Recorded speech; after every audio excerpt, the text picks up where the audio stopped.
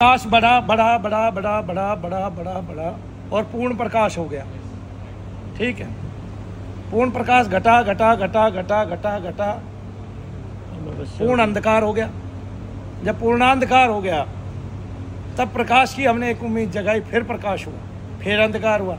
अंधकार और प्रकाश एक दूसरे से संलग्न है। अगर अंधकार ही ना हो तो प्रकाश की कोई परिभाषा ना हो। तो उजाला को उजाला कहेगा कौन? अंधेरे को अंधेरा कहेगा कौन? और जब अंधेरा भोगने के लिए नहीं है, जैसे जब हानि ही नहीं है तो लाभ को लाभ कहने वाला कहाँ से रह जाएगा? वो तो आ रहा है। उसको पता ही नहीं है ये लाभ है, क्योंकि हानि शब्द है ही नहीं दुनिया में। है ना? इसलिए अधर्म ही नहीं है तो फिर धर्म की परिभाषा नहीं है। है ना? तो लाभ, हानि, जय, विजय। हार ही नहीं है तो जीत की क्या परिभाषा? नहीं समझे? वो दूसरा शब्द तभी सार्थक होता है जब अंधकार है, प्रकाश है, सुख है दुख है उसी प्रकार से। और मैंने जो बताया आपको, उसको समझा उसी तरीके से जा सकता है।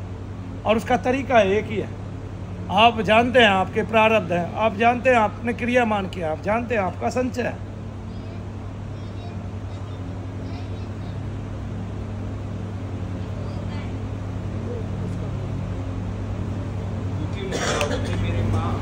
आँखों से देखा है, पच्चीस पच्चीस, छब्बीस घंटे तड़पते तड़पते गुरु गुरु पूर्णिमा के दिन देहांत हो गए। मेरे पूरा बैठ गया तो उनका इसलिए मेरे से जिज्ञासा हुई मैं खोज करके यहाँ पे जो मोह में रहता है। जिसका मोह नहीं है वो तड़पेगा ही। उसके लिए शरीर का आना जाना नश्वर है शरीर। जाएगा ही जाएगा। वो तड़पेगा ही नहीं। आगे ना तड़पेगा वो जिसके अंदर मोह होगा। जो मोह नहीं मोह रही था वो तड़पेगा नहीं। देखिए इसका एक उदाहरण है हमारे एक ताऊ। ठीक है ना? वो गाँव में कम रहते थे, बाहर ज़्यादा रहते थे। अपने परिवार के किसी भी आदमी से बोलते नहीं थे। अपने पूरे परिवार को, हमारी ताई समेत अपने बच्चों को, सबको एकांत में रहना सिखा रखा था। वो किसी से वार्तालाप कम करते थे। जब वो काफ़ी उम्र के हो गए, तब वो गाँव में रहते थे तो वो मेरी बेटी को खिलाते थे। किसको खिलाते थे? मेरी बेटी को। गाँव में जब शनि मंदिर बन रहा था तो उनकी चारपाई शनि मंदिर में चली गई। वो गाँव में उन्होंने तब भी नहीं रहे सहन ही नहीं किया रहना। तब वो शनि मंदिर पर ही एक दिन बैठे बैठे शिवरात्रि के दिन उनका प्राण ऐसे निकल गया, कुछ हद नहीं। क्योंकि उनका मोह नहीं था भाई। संसार में जिसका मोह है, उसका प्राण, उसकी गति कष्टकारी है। जिसका मोह नहीं है, उसकी गति कष्टकारी नहीं है। अब देखिए यहाँ से। बाबा रामकृष्ण परमहंस को बड़ी बीमारी हो गई। है ना? अब वो दुखी थे। वो दुखी नहीं थे, क्योंकि उनको तो पता था शरीर नस्वर है। उनका शरीर का कोई भान ही नहीं था। तब भक्त लोग बड़ी प्रक्रिया करते थे, क्योंकि भक्त मानते थे हमारे गुरु जी दुखी है, लेकिन गुरु जी कभी दुखी हुए ही नहीं।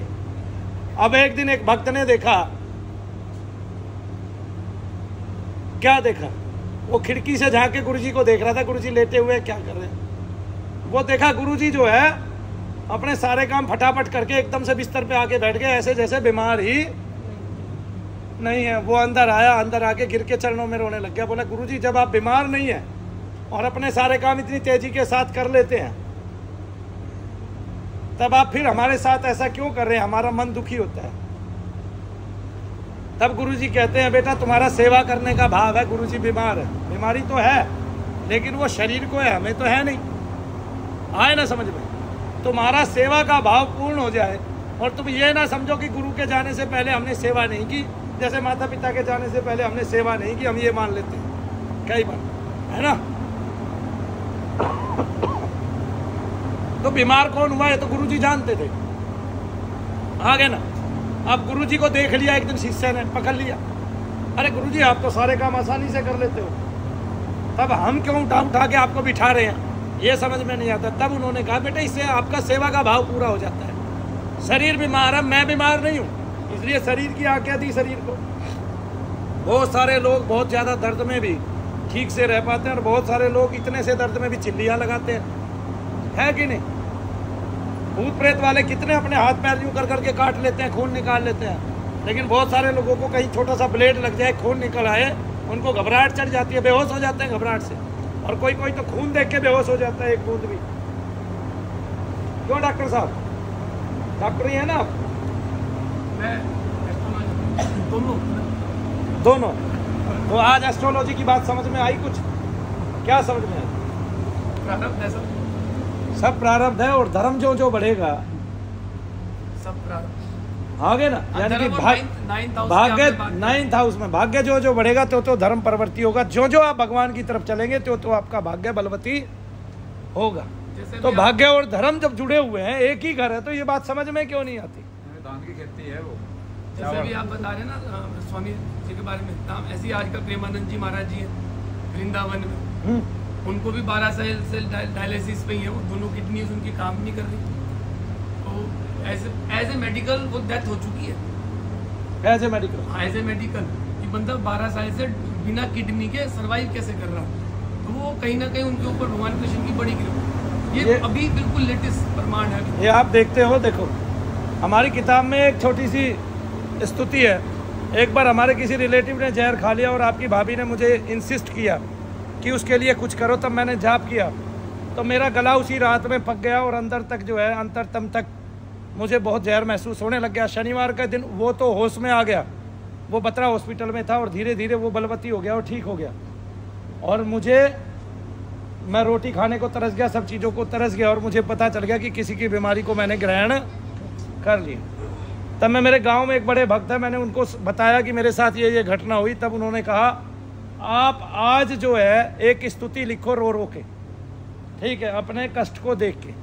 तब मैंने एक स्तुति लिखी सनी कष्टों ने मुझे आ घेरा जब मैं सवेरे उठा तो मैं बिल्कुल दारिद्र्य मुझको सताए रहा रहे हाड़ चाम तन में केवल मुख फिर भी गुण तेरे गाए रहा। कर कृपा दे होए नाथ जी अब चरणों में शीस नवाए रहा। निज भक्ति देव जो आप मिलो मम टेर सनी में सुनाए रहा। आए समझ में? तब सवेरे में बिल्कुल ठीक था। एक। दूसरा, जब मैं दो महीने तक मेरा फीवर ठीक नहीं हुआ, दो महीने तक, कितने महीने तक? दो महीने तक जब मेरा फीवर ठीक नहीं हुआ तो मैं यहाँ अपने घर आ गया। आया और मैं बीमार कहाँ हुआ था? अपनी ससुराल में। तब उन्होंने ये सोचा, बहुत सारे पैसे वैसे रखे मेरे उठा के, नाम के कि अब ये बचेगा नहीं शायद। और मर गया तो हमारा नाम हो जाएगा, ये कहेंगे, वहाँ था, जा रहा था, वहाँ मर गया। ठीक है ना? तो सारी उम्र हमें ही खोजते रहेंगे। बेटी वाले के ऊपर भी बहुत जिम्मेवारी होती है, ऐसी बात नहीं है। तो मुझे छोड़ गए तब मैंने यहाँ आके क्या मैं हॉस्पिटल में एडमिट हुआ? नहीं। तब मैंने यहाँ आके नाम जप करना शुरू कर दिया। अगले दिन से मेरे पिता मिल गए मुझे, मेरे पिता ने मुझे समझा दिया। तब मैंने नाम जप चालू कर दिया एक दिन पहले कोकिला बन जाने से। आया समझ में? और तीन दिन में मेरा बुखार कहाँ चला गया? जब मैं कोकिला बन होके आया तो मुझे ही नहीं पता चला। जबकि मेरी एक ही खुराक रह गई थी, केवल कुछ चीकू। और शरीर, इतना शरीर कष्टकारी हो गया था कि छाती की हड्डी हड्डी दिखाई देती थी। ऐसे जो ये वाला हिस्सा है कि इसमें कोच भर पानी भर लो, ऐसा दिखाई देने लग गया था। आगे ना, कि ओक भर कई चम्मच पानी आ जाए यहाँ पे। तो फिर तो भगवान तो सदा सुखी करने वाले हैं। अब उसमें प्रेमानंद जी महाराज हो गए, मनु भैया तो पता नहीं कितनी बार हो चुके हैं। ठीक है, अब वो किडनी पे नहीं, मैं तो कितने रोगों के रोग ठीक कर रहा हूँ तो अपना अपना ठीक कर रहे हैं। अपने लिए जाप कर रहे हैं। तो एक भक्त जो है वो अपने कल्याण के लिए जप करता है। हाँ उसके शब्द से जनता का सुधार ज़रूर हो सकता है, लेकिन शब्द भी उसका प्रभावी होगा जिसपे खुद पे असर होगा उस शब्द का। ठीक है, जैसे मैं शब्द देने वाला तो हो गया, लेकिन शब्द के अनुकूल मेरी मति नहीं हुई, शब्द के अनुकूल मेरी गति नहीं हुई, तब मेरा शब्द किसी काम नहीं आएगा संसार के पत्नी करने में फ़र्क है। कथनी करने में फ़र्क हो गया। तब प्रेमानंद जी महाराज जी मान लिया जब कर रहे हैं। तो जब का फल भी तो उन्हीं के साथ है, उन्होंने किसको दे दिया? वो कौन सा संसार को दे रहे हैं? अपने लिए जाप किया है उन्होंने? अपने लिए नाम ले रहे हैं? सारे संत अपने लिए नाम लेते हैं। ठीक है ना? और दूसरों को केवल भक्ति की धारा में कि भाई मैंने नाम लिया, मुझे ये मिला, तुम भी ये करो। मुझे तो नाम बांटना भी पड़ता है पूरे दिन। बोलो। फिर मेरी इच्छा होती है, आज आज भी बैठ के मैं चालीस चालीस दिन साधना करूँ, लेकिन मेरी मजबूरी क्या है?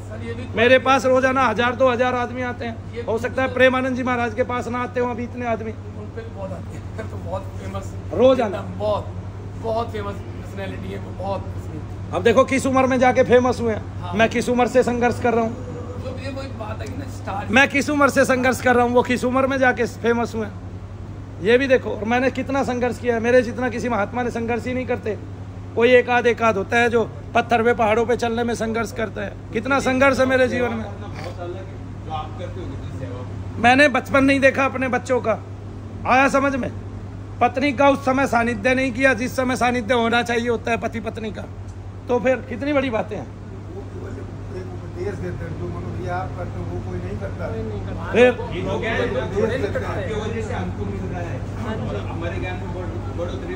अपना परिवार छोड़ दिया वो परमानेंट छोड़ देगा।